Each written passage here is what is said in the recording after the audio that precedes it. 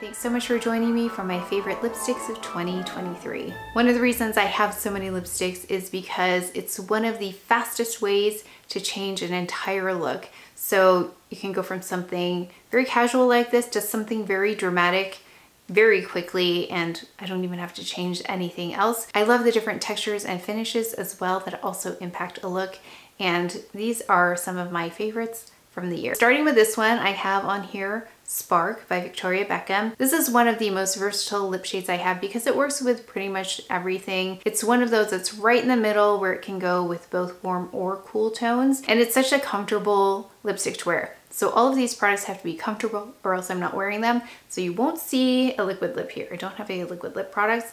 I like traditional lip products as well as gloss type formulas. So that's what you'll see here today. But this one is so pretty on. So actually I'm gonna try them all on for you so you can see what they look like on. Let me go ahead and remove.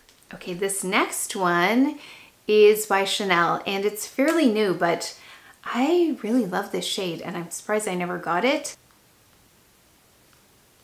So you can see it's a bit cooler. But this one kind of is like a Your Lips But Better on the cooler side for me though. So I would say that the one that I just had on, the previous one by, by Victoria Beckham, is Your Lips Better with a little bit of a pinkier tone. This one is with a cooler tone. It's already having an effect on the lighting, just the change in the lip color here, but it has a little bit of the purple tones that I have in my lips. So if I want something for a cooler look, this is a great one to pull for. So it's like pink with a little bit of a coolness about it. Really lovely formula as well. It's a bit more opaque than the Victoria Beckham. Also quite hydrating. By the way, this is the Rouge Coco formula 434 Mademoiselle. I thought it was going to look different when I saw it online, but I just have to find the right blush and eyeshadow to wear with this though. It's a little bit finicky in terms of it wanting to really be paired with more cool colors because you can see the warmth popping out in my blush. I don't think it appeared warm like this when I had the Victoria Beckham lip product on. Okay, this next shade, I love this one because it's got a lovely sheer, a little bit more glossy finish to it, but also a Your Lips But Better that works with most shades. And this one is by Chantecaille. It's in Bourbon Rose and it's their Lip Chic formula. So it's one of their most loved formulas. As you can see, I gravitate more towards natural looking lip colors, just things that enhance and just are pretty colors. So I like when they flatter the skin tone and don't fight with my coloring. I love some of the more dramatic lip shades on other people, but on me, it's a little bit distracting for me to wear. But these are the ones that I love and wear over and over. In fact, I had to grab a lot of these from my bags because that's how much I love them. I take them with me and I actually finally found one that had gone missing for about two weeks but I just found it, so we're gonna try that one on next. But this is Chantecaille's Lip Chic in Bourbon Rose. Really comfortable as well. Okay, next is one that's not like a pinky tone. It has a bit of a beige tone to it and a bit of warmth. I typically go for more berry toned lipsticks. They tend to look better, some degree of berry tone, but this one is nice and warm. I love that it's a little bit harmonious with my overall skin tone. This is by Chanel. It's the Rouge Coco Baume in 914. So again, another lightweight lip product. So we're starting off a bit more sheer here. We do have some more dramatic lip colors coming up, but this one is really beautiful for very soft and natural look. I love this when I'm doing a more understated look or if I'm doing something smoky in the eye area, this one is really beautiful and plus, again, one of those easy products to apply. But these are slight variations on almost the same tone, but again, you can see how different they look once they're on. You can see how each of these would come in handy based on the type of eyeshadow and cheek product I have on, if it's warm or cool. But I've been loving this one. I have to mention one that I don't have because it's, it went away with an empty and I haven't replaced it yet, but it's Tanline by Victoria Beckham. That was really lovely. I loved that one so much, but it was time for that one to go. And like I said, I've not yet gotten a replacement for it, but I definitely will pick that one up in the future. But this is the Chanel Rouge Coco Baume in 914. So I hope this is helpful because to me, lip swatches on the arm are a little bit tricky. The only thing I like about that is that you can see the difference in undertone, but I think especially if you're like me and you have color already to your lips, that color is influencing whatever the shade of the lip product is. So it's gonna look different on my arm than it is on my face. So I hope that this is helpful. We've got here a gloss here. It's a Rouge Coco Gloss by Chanel and this one is in caramel which to me doesn't look anything like what I think caramel should look like. I was expecting something more of like a tan tone but this is pretty. It's a little bit cool as well. And it does remind me a bit, just a little bit of Mademoiselle because the tones are both cool. And actually, let me hold them up next to each other. So this is Mademoiselle and this is Carmel. So Mademoiselle is a little bit deeper, a little cooler looking, but if you like that tone, you might really like Caramel. And I love this for something really easy to wear, something that's just gonna even out the skin tone, give me some hydration. So this is a really pretty one if I want something on the cooler side. I think lip products are one of the things I try out the most here. Even though I feel like I don't have that many, I feel like I try out a lot of them during the year. But like I said, I know I love something when it gets lost in a handbag. Okay, next up, we've got one up by Hermes. And I love looking at their lip shades. I have one really dramatic lip. It's almost like a really deep, deep berry tone, like a wine tone. And then I have one that's lighter, but this is the one I still love the most by Hermes. And I love their packaging, by the way, it's beautiful. This one is number 21 and I have loved this for a while now. It's got a bit of warmth to it as well.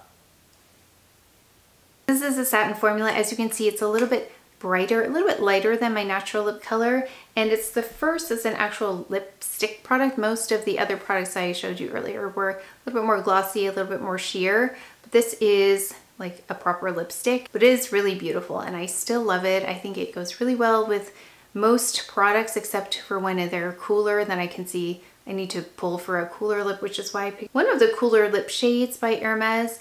Um, but I still actually spotted another one by Hermes that's also cool toned that I need to try out, but it's a little hard to get a hold of. But this one is 21. I think it goes really well with my skin tone as it is, and it's just lovely formula, very comfortable to wear as well. Okay, this next one we didn't see a whole lot on camera, and I can't recall my first impression of this, but I recently started using it again because I was looking for a lovely pink, just a pretty pink color with a little bit of brightness to it. And this is by Clé de Peau. So I wore this, gosh, in a recent video. I think it's in Heliconia. And I think I was expecting a different shade. That kind of threw me off initially. Because this is kind of bright, but you can see how pretty that looks. It's a really lovely formula. It's like a creamy lipstick. Really creamy, like a very thick gloss in a way. It does feel like it looks like a really thick gloss, but just have a creaminess to it as if it was applied as a lipstick. It's a really interesting texture because it's not goopy like it looks like it would be goopy here because it is in this gloss form, but it's not. It is a really lovely hydrating formula, but I think it provides a lot of life to the face. And that's what I was looking for the day I chose this because I wanted to brighten up my face. So that's why I think lipsticks are so transformative. So they can really do a lot especially if you don't have a lot of makeup on, I think lipstick is really powerful. This is the Cream Rouge Shine formula. Again, very comfortable. It's gotta be comfortable for me to want to wear a lip for a while. But yeah, I love how it just brightens up the whole face. Okay, next we've got a Dior lip, and I don't have as many Dior lip products, but I really like this shade. It's the Rouge Dior in 683 Rendezvous. It's a satin lip. Of all the finishes of lip products, satin's my favorite. Actually, with eyeshadows as well as foundations and powders, satin is my favorite finish overall. I think because it has just a slight amount of glow to it, it's not completely matte, and it just looks really healthy and looks very, very natural. So I love that finish. And this one has that satin finish to it. So let me know what other Dior lip products you like, but I really love this shade and this finish.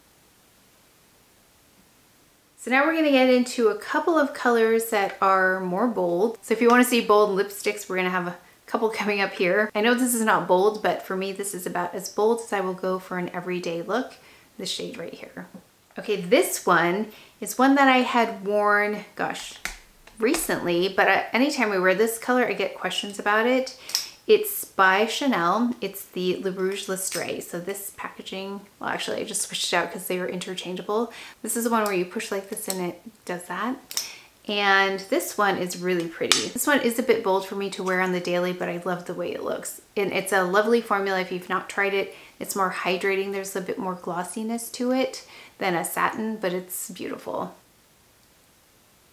Now this one, I'll just kind of apply and then kind of shear it out a little bit because it's very bold. And then I'll take a cotton bud here, went outside the lines a little bit, and I soften it. Okay, it's getting a little messy just because it's uh, like the ninth lip product I've tried on. Yeah, so I like it a little bit sheared out like that, but I can show you how it looks built up because it's really glossy if you build this up. And when I have a bold lip, I don't want to go super glossy, but I can show you, but I just want to show you the colors. This is in the shade 832. Okay, let's build this up so you can see it. So if I do that, you see the glossiness there? It's a little too glossy for me, but some people might like that. So that is a full application of this lip product, just so you can see what it looks like. Okay, and then for the last one, gosh, that is really pretty though, isn't it? For the last one, it's one that I picked up recently, but I have so many questions whenever I wear it. So let me just remove this. And it's this one right here. It's this little lipstick by YSL. It's from the lip kit from the holiday. And this is the red shade in there. Now YSL is one of those lines where I haven't tried out many of their lip products, but this one is stunning. I think it's a beautiful red. Yeah, this was in the best of YSL kit from Sephora. This is Rouge Muse. So Rouge Muse is this shade right here. I do love so many lip shades and I probably could make this list twice as long, but these are the ones that I continue to look for and wear over and over. And these are the ones, like I said, I had to go into my handbags to go find them because I use them on a daily, except for these last couple shades. And I don't wear those on the daily, but the other ones were things I definitely had to go hunt them down before I could put them in this video. I would love to know what your favorite lip products were for 2023. Do let us know where you love them because I'd love to explore some of those options in 2024. But that is it for today's video, so please take care of each other, stay well if you enjoyed this video. If you learned something, please give it a thumbs up, subscribe, and I will see you next time.